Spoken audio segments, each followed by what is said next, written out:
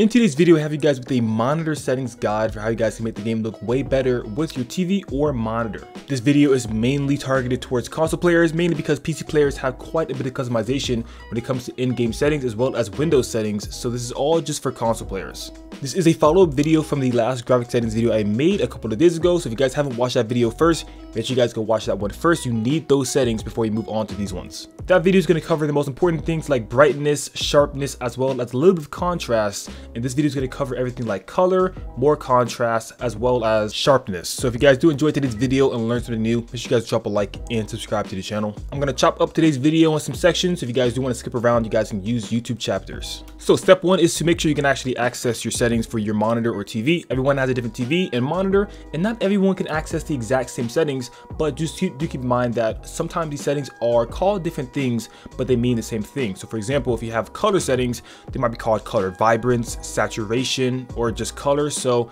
keep in mind that sometimes they have vague terms for certain things. But the first thing we're gonna look at in today's video is your brightness. Now, this is one of the settings I recommend you guys don't touch too much. This can actually affect the game a lot when it comes to making it look washed. If you guys watch my graphic settings video, you guys know that I said you should put it at 50. Now, if you're experiencing some seriously dark imaging, I mean like you really cannot see, then you can bump it up maybe by 10 or 15 so maybe 65 brightness is the max you should run but anything above that you're really pushing it. The game's gonna look really washed so i don't recommend you guys mess with that too much. My brightness settings are at 55 on the dot when it comes to my monitor and it's at 50 in the game and that makes a pretty good image for me. Now for sharpness you don't need too much sharpness mainly because we do have the fidelity cas setting. If you don't use fidelity cas then you do want to bump your sharpness up more but fidelity basically covers most of the sharpness for warzone. It's a pretty good setting and it makes it look pretty crispy so like I said, if you guys haven't watched my last video, you guys want to check that out because that's going to go in depth on how you guys can make your game look a little bit sharper with that setting.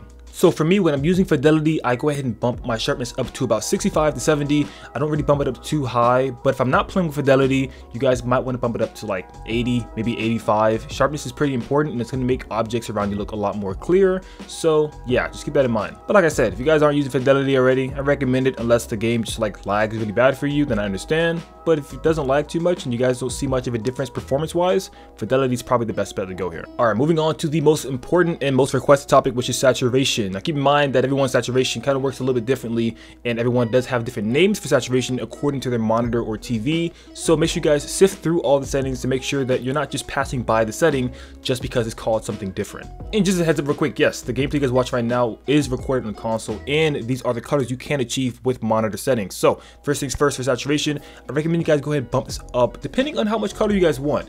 I usually use about 80 uh, and this is going from 50, 50 is the base minimum and I go up to 80 so that's about 30% increase in color and that's what I usually use. I don't use none too crazy but I do like a lot of color in the game because the game looks pretty boring and bland especially back in the Ashika Island. Now Rebirth's actually pretty colorful as itself so you guys can actually bump this down. This might be a bit too much for you guys but uh, I like 88. I think now the last setting we're gonna talk about in today's video is contrast. Contrast is a very very important setting when it comes to making your colors look more richer and deeper. So with that being said I have my contrast set to about 85.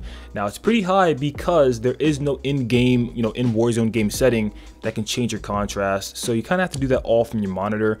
Uh, so that's why I have mine quite high. You guys don't have to put that high if you don't want to. Now, real quick, I do want to just mention some other settings you guys might have. If you guys have a monitor or a gaming monitor, you guys might have some response mode times and things like that. If you guys have like a fast mode or a game mode, I do recommend you guys go ahead and turn those modes on if you guys can while the color is there and whatnot.